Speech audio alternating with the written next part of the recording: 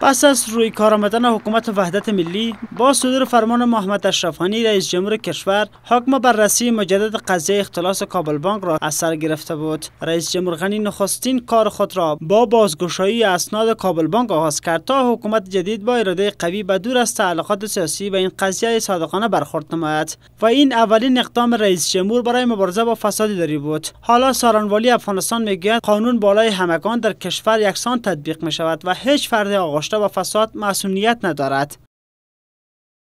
در قسمت تطبیق قوانین از هیچ گونه تلاش و توسل به وسایل مشروع دریغ نخواهیم کرد. برنامه هایی که تا امروز به خاطر مبارزه با فساد اداری در داخل اداره لویسرانوالی عملی شده یا اینکه اداره لویسرانوالی با همان برخورد عدلی و قضایی خود در این قسمت مبارزه می‌کند خیلی ها برنامه های موثر اساسی و کارا و مفید همچنان بوده ولی این به هیچ وجه بسنده و کافی نیست. پیش از این مقام های اتحادیه اروپا در افغانستان گفته بودند باید برای مبارزه با فساد اداری تلاش های جدی صورت گیرد و به فرهنگ مافیت از مجازات نقطه پایان گذاشته شود. از سوی هم مقام های اتحادیه اروپا در افغانستان فساد اداری را یکی از چالش های بزرگ در برابر حکومت و مردم این کشور دانسته بودند. فرانس مایکل ملبن سفیر اتحادیه اروپا در افغانستان به تازگی گفته برای پایان دادن به فرهنگ مافیت از مجازات مقام های ارشد حکومتی که در فساد دست دارند باید مجازات شوند.